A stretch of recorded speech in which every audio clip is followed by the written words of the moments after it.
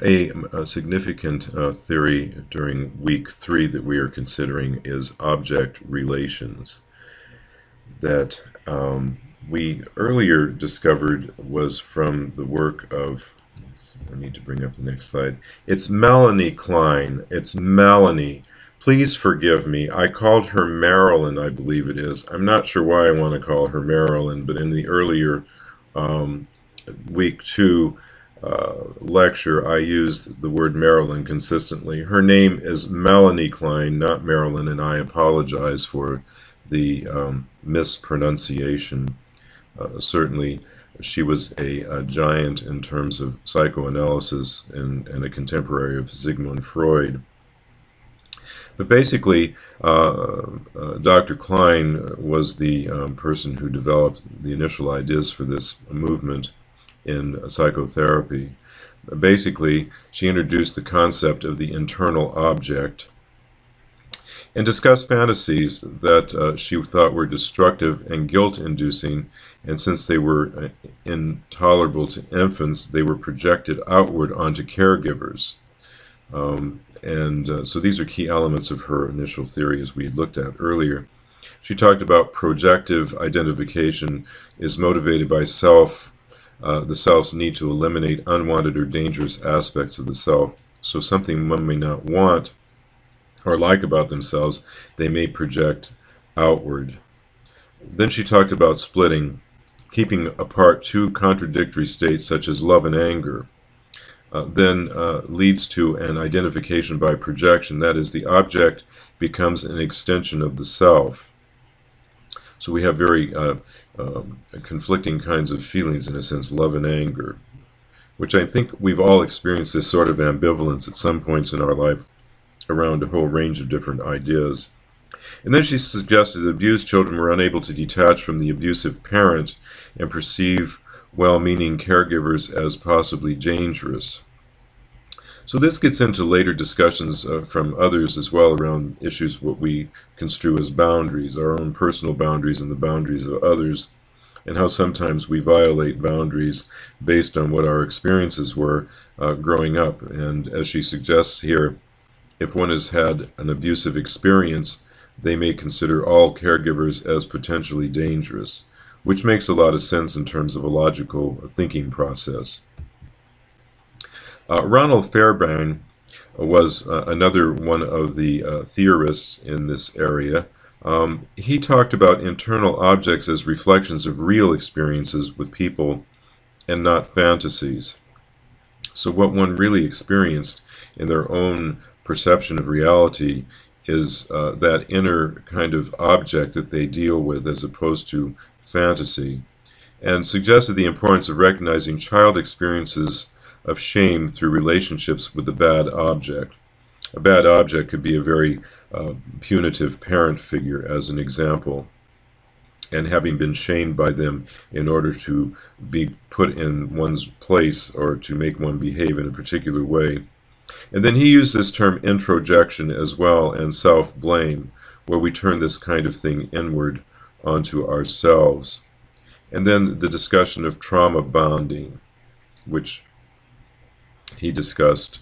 And I'm going to try to find a, a clip of uh, Dr. Fairbairn uh, discussing the trauma bonding issue to upload.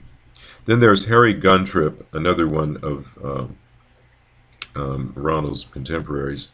Uh, he elaborated on uh, Fairbairn's idea and focused on the importance of the object in ego development. Again, uh, individuals may sometimes fear positive relationships fearing they will somehow be smothered by good experience, thus losing oneself in the process. So that's a real concern a lot of people may have. I don't remember it myself uh, in my own growth pattern, but we will encounter people, if we haven't, who may have similar experiences in their uh, developmental process.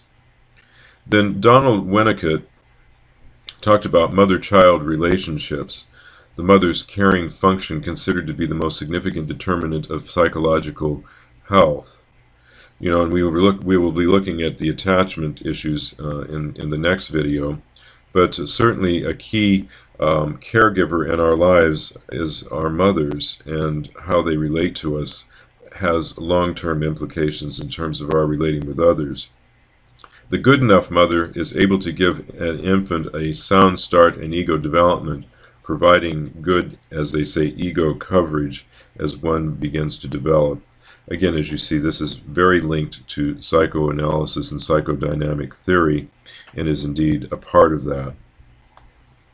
Then Henry Stack Sullivan uh, further uh, developed ideas around these concepts. Uh, he introduced an interpersonal theory of human development that emphasized the important theoretical shift from what they used to call drive theory, which was a, a Freudian kind of uh, uh, concept that we looked at earlier. These whole drives, what, you know, is it pleasure that drives us or is it something else? And the therapist has a role in the patient's transference distortions, and these are not solely determined by the patient's childhood experiences. So a lot of times as the therapist you may represent an authoritative figure, as they say in um, South Park, an authority, and uh, that would uh, perhaps be um, uh, setting up a negative uh, exchange. Uh, and sometimes it, this is transference is a challenging uh, area to, to work in if you have clients who have severe reactions. Um, I know working in a jail once, I had a client who was delusional, thinking that I was the officer who had shot his brother apparently when he was younger, and so he had a tremendous reaction to me, which, uh, you know, transferring the horrible experience onto what he thought was the officer who he was encountering again somewhat related to this idea, but mostly the transference has to do with caregivers. Uh, actually, that's what it's about in terms of our childhood and how we were treated. And then the patients avoid certain clinical material in an attempt to preserve self-esteem. So if you're trying to work in an area where they were shamed, there may be some resistance to this and an avoidance of re-experiencing the trauma that one may have had in an earlier time. So there are eight stages in object relations theory and practice that we will overview here. Uh, preliminary diagnosis of relational pattern, building the therapeutic alliance, identifying the maladaptive relational pattern, patient expresses maladaptive patterns, therapist generates an empathic confrontation with the client, working with the confrontation, generalizing the therapeutic relationship and separation and termination.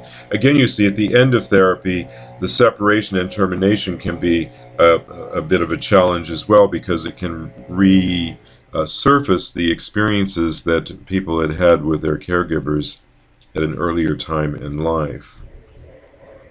Object relations theory um, and brief theory, uh, time-limited uh, dynamic psychotherapy, which fits into sort of a managed care approach. Basically, the focus is on maladaptive relational problems learned in the past, maintained in the present, and could potentially reenact in the therapeutic relationship. Um, uses a relationship between therapist and patient to discuss and change ways in which the patient interacts. So this is kind of the focus of this type of psychotherapy, which is somewhat brief and time um, uh, time limited, um, certainly a different approach than psychoanalysis, which can go on for several years on a regular weekly basis, even perhaps for a number of people who've encountered and engaged in that in the past. This is a quick overview of object relations, and I will uh, on the module site try to upload a few uh, videos, uh, brief videos that will give you a clearer picture of um, uh, people who practice this uh, therapeutic approach.